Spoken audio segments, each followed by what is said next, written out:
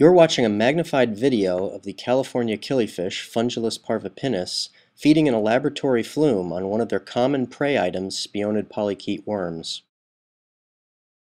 Spionid polychaetes, like this species, Polydora cornuta, are microscopic worms that live on the seafloor. They are especially abundant in coastal and estuarine sediments. There can be over 1,000 living in a square foot of mud. Spionids build a mud tube and live inside of it for protection.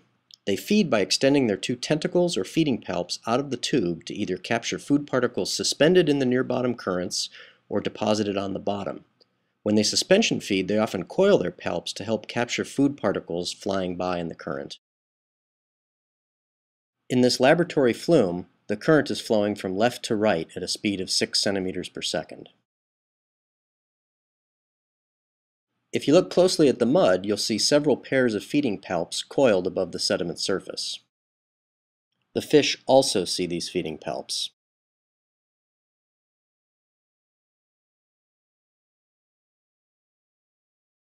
The fish also can locate their prey when the worms defecate.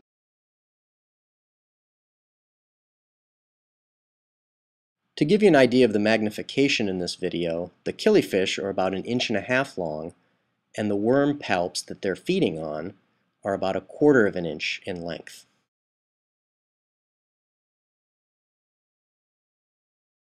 You can see that sometimes the fish take a very precise and shallow bite trying to eat the feeding palps, and at other times they take a much deeper bite trying to eat the whole worm.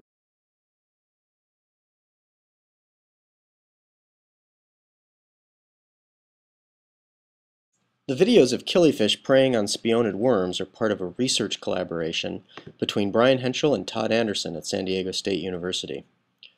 We and our students are interested in how differences in the speeds of tidal currents in salt marshes affect predator-prey interactions and food webs in these important estuarine habitats.